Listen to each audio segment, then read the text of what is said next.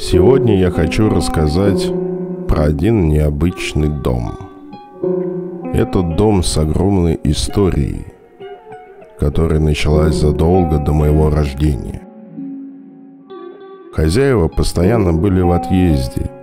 Когда они приезжали, мы с сестрой иногда заходили в гости. Страшно холодно было в том доме, но было и что-то притягательное в нем. Притягательное для нас, тогда еще детей. Постоянно в доме жила только бабушка, но, кажется, даже его стен не покидала. Сестра говорит, что никогда не видела ее. Я тем более. Ключи от дома хранились у моего дяди. Глава той семьи очень доверял ему и уважал. В общем, что с детей взять?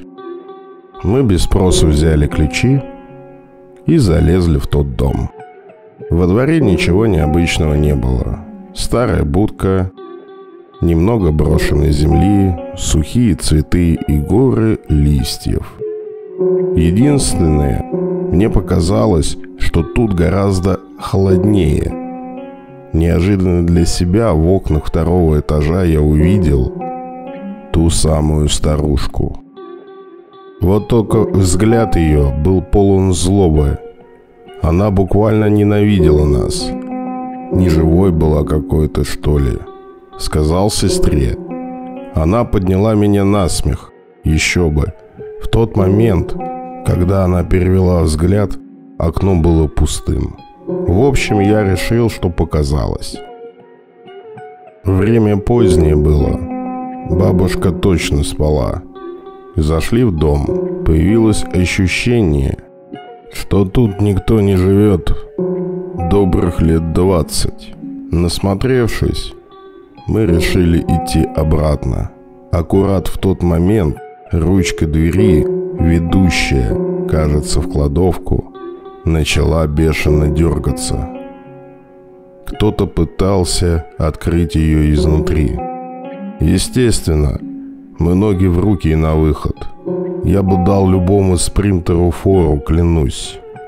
Убегая в окне, я снова увидел ту старушку. Бледную, как молоко, и почти прозрачную.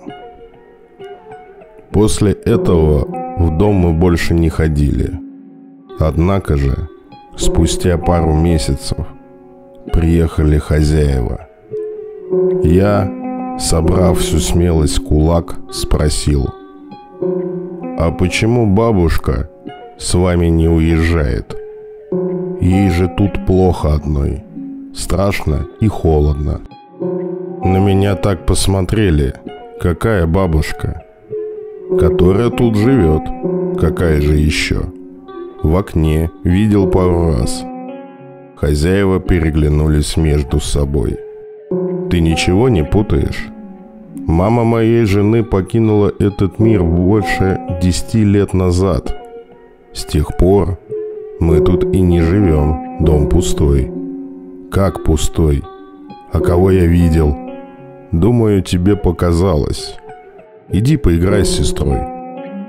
Но я даже с места двинуться не мог. Если там никто не живет, то что это за бледная старушка, которую я видел? Такой страх пробрал меня тогда. Отголоски его я невольно вспоминаю до сих пор.